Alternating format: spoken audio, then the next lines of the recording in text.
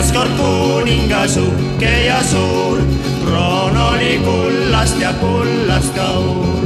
suulaseid palju tal taga ja ees, luiged tal ujusid lossi ees vees. sõdurid põõdurad ei olnud tal, saalides säädeles puhas kristall.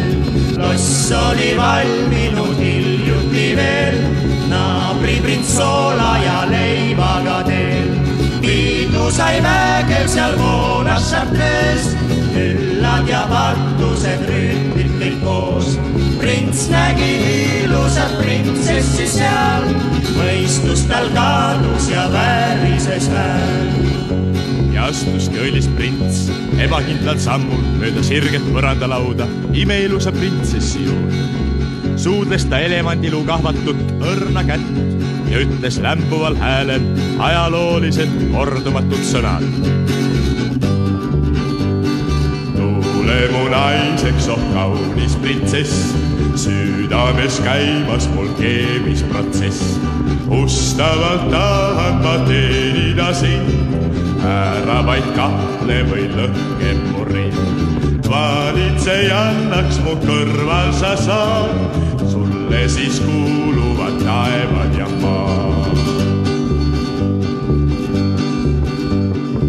vastas siis printsess, et oh, kaunis mees, see jutt on nii ilus ja lõbusaks teeb. tuleksin naiseks sul kohe, sa tead, vanamehe käest luba küsima pead.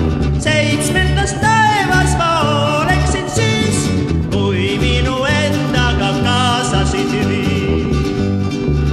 siis läkski prints arglikult kuninga juurde, kes parajasti poolt metssiga sõi ja palus temalt ta tütre kätt. kuningas oli lahkesti nõus, kui prints ainult täidab hommikuks kolm tingimust. ei suitseta, ei joo viina, ei vaata naisi.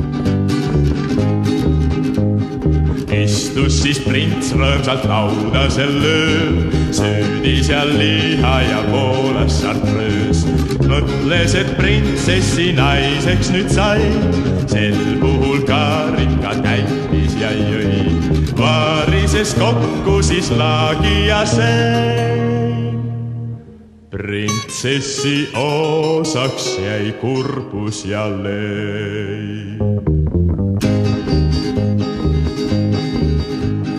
elas kord kuningas uhke ja suur, kroon oli kullast ja kullast kaur. suulaseid palju tal taga ja ees, luiged tal